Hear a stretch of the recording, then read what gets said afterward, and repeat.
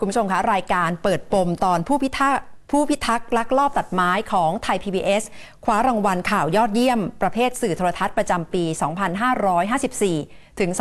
2555 นะคะ จากสมาคมผู้สื่อข่าวช่างภาพอาชญากรรม แห่งประเทศไทยค่ะ รายการเปิดปมคว้ารางวัลข่าวยอดเยี่ยมประเภทสื่อโทรทัศน์ประจำปี 2554 ถึง 2555 จากสมาคมผู้สื่อข่าวช่างภาพอาชญากรรม จากตอนผู้พิทักษ์ลักลอบตัดไม้ ซึ่งมีเนื้อหาเกี่ยวกับการตรวจสอบข้อร้องเรียนจากประชาชน กรณีพบการลักลอบตัดไม้ และแปรรูปไม้ ในอุทยานแห่งชาติเขื่อนศรีนครินจังหวัดกาญจนบุรี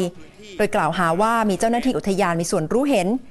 การนำเสนอในครั้งนั้นทำให้กรมอุทยานแห่งชาติสัตว์ป่าและพันธุ์พืชตรวจสอบข้อเท็จจริง และนำไปสู่การโยกย้ายหัวหน้าอุทยาน และมีการตั้งคณะกรรมการสอบสวนทางวินัย นอกจากนั้นเปิดปมตอนขบวนการค้าตัวนิ่ม ซึ่งตีแผ่เส้นทางการค้าสัตว์ป่า จากไทยสู่ประเทศเพื่อนบ้าน คว้ารางวัลข่าวยอดเยี่ยมอันดับ 2 ส่วนรางวัลข่าวยอดเยี่ยมอันดับ 3 เป็นของสถานีโทรทัศน์โมเดิร์นไนน์ค่ะ